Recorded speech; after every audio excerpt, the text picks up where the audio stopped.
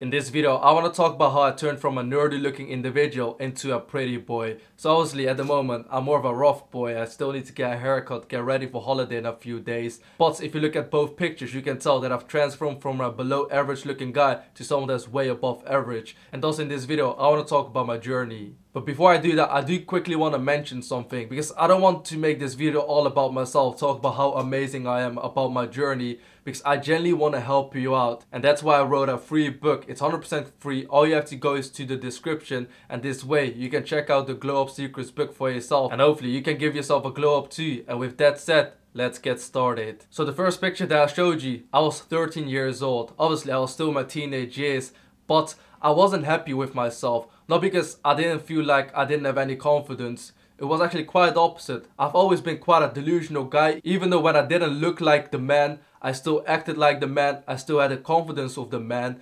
But it didn't feel right to me. I generally didn't like the way how people perceived me because when I looked in the mirror, I just simply saw how much potential I had and I couldn't accept living a life where I wouldn't unlock my full potential and that's where my journey began. Because I always saw these other pretty looking individuals get amazing results where they're just simply getting away with stuff or even attracting beautiful girls and I was like hey I want a piece of that and those were my initial motives as to why I wanted to improve myself and as I started my journey obviously I started to take care of myself in every realm I was able to and I started to see some results. And I remember the first time when I actually started to style my hair it was such a big step. And I remember first time going to the classroom I know everyone will judge you because you look a certain way and then the next day you come to the classroom completely transformed and all eyes will be on you. And although it wasn't that big of a deal and it was a much bigger deal in my head than it actually was because the truth is when I entered the classroom no one cared everyone continued to live their own lives but there was this one girl that after the class came up to me and was like hey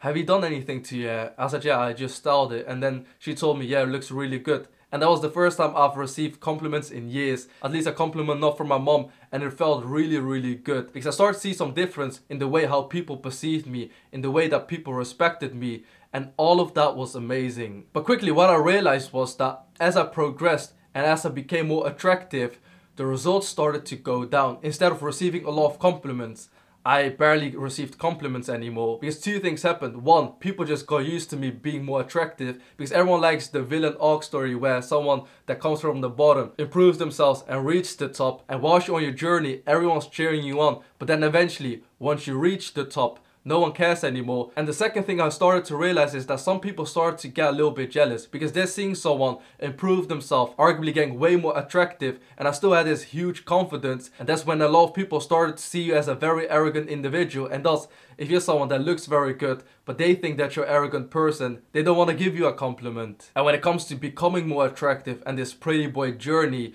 I started to realize that initially it was all validation from the outside world. I constantly wanted to be accepted by other individuals, wanted to be accepted that they would see me as good enough or they would respect me. But then over time, once I respected myself enough, I started to realize that it all starts from within. Even though I look way better now and it does help, the most important thing is that if you're someone that can convey confidence, someone that genuinely respects themselves, other people will notice that as well. Because the truth is, male beauty is not as valuable as female beauty. And yes or no, as it comes with the future generations, we start to care more and more about looks. And I think it's a genuine concern when it comes to the youngsters nowadays that will only be more superficial. They only start to care more about looks. But everything is getting more competitive. It's not only your looks anymore, you also need to be more confident. You need to work out have a better personality, improve your social skills, earn more money, and the list goes on and on. So it's not only about male beauty. And the reason I'm mentioning this is because there's a lot of people out there, there's this little community called Black Pilled. These individuals generally believe that when it comes to women, looks is everything. And coming from someone that's done modeling before, someone that literally gets paid to look good, I can tell you that that's not the truth because being too good looking is also a concern. A lot of times I've had conversations with women, they're like, yeah, it's too good to be true. You're very attractive, you know how to speak. And I haven't even mentioned about my YouTube channel. I haven't even mentioned about what I do. But even by being perceived as someone that's way too good looking and someone that's amazing social skills, you can also get rejected. And yes or no, this is a better problem to have than being someone that literally gets zero attention and generally doesn't feel that attractive. But this is generally an issue that I've encountered plenty of times. And yes or no, a lot of people will say, yeah, this is a shit test. They're just trying and testing you out. But even if you pass this shit test, they're still super skeptical because they know you can get more girls. They know you have unlimited options and that's something that's a downside when it comes to this. If you're someone that's looking for unlimited girls and unlimited attention, yes, this will work in your favor. But if you're someone that's very attractive, you never know whether someone's with you for your looks or because they genuinely like you. It's a lot harder to build a real meaningful connection and these are some real genuine concerns that you don't have if you're not that attractive. And literally before recording this video, I messaged one of my mates Ilka to talk about what I'm gonna talk about and he literally just sent me a voice note and I genuinely want you to listen to it. Yeah, Alright? I mean, you can talk about the misconceptions of being a pretty boy as well. Like everyone thinks it's rosy. It's you know you get whoever you want basically. That's not true. you and I know that's not the case. I mean, you've had girls that don't want to mess with you because they think you're too good almost. Told you. So you could talk about that. Already I mean- mentioned that.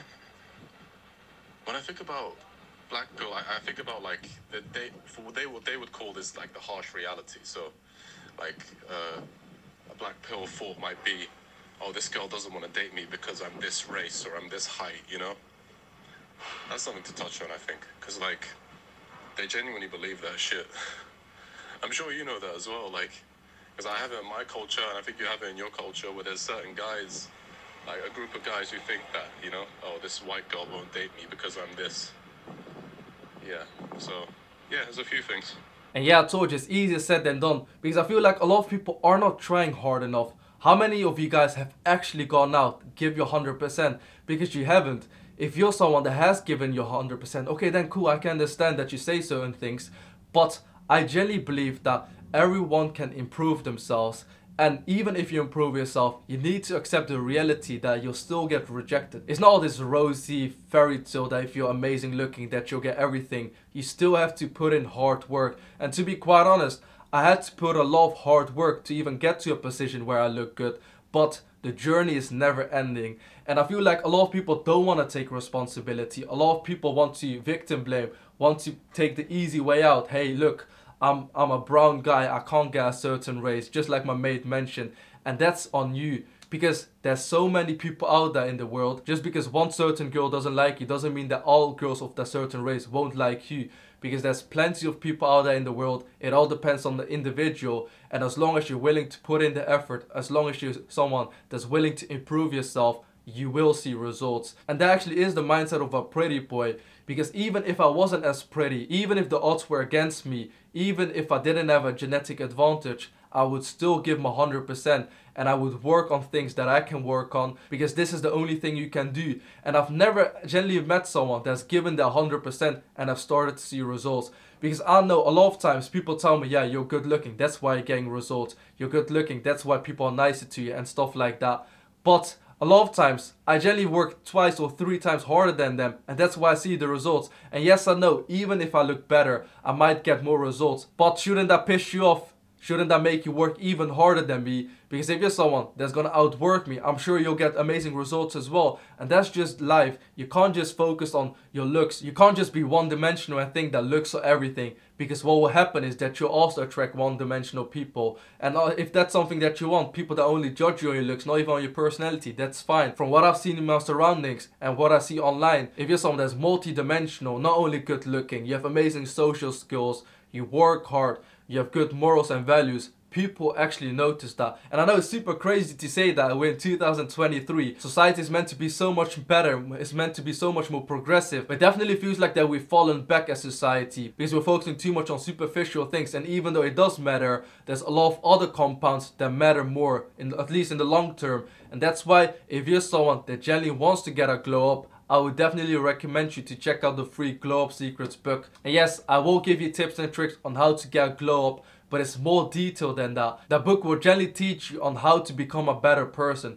how to become a better man. It will teach you to improve your body, your mindset, will help you with your confidence and so much more and it's completely free. So I would definitely recommend you to check it out because the free guidance is out there for you but it really depends on you whether you're willing to take the action. And that's pretty much the end of this video. So yes, being a pretty boy is amazing and the reason I wanted to turn into a pretty boy is because it just feels like you get more respect, people appreciate you more because beauty is something that's valuable but at the same time male beauty is not as valuable as female beauty. So you still have to put in the effort in every other realm of your human endeavor if you're someone that wants to see the best results. And that's pretty much it when it comes to this. If you'd like to see more videos like this in the future, please consider to the subscribe button and leave a thumbs up for the YouTube algorithm. Anyways, thank you so much for watching. I genuinely appreciate your time and I hope to see you in my next video. Bye bye.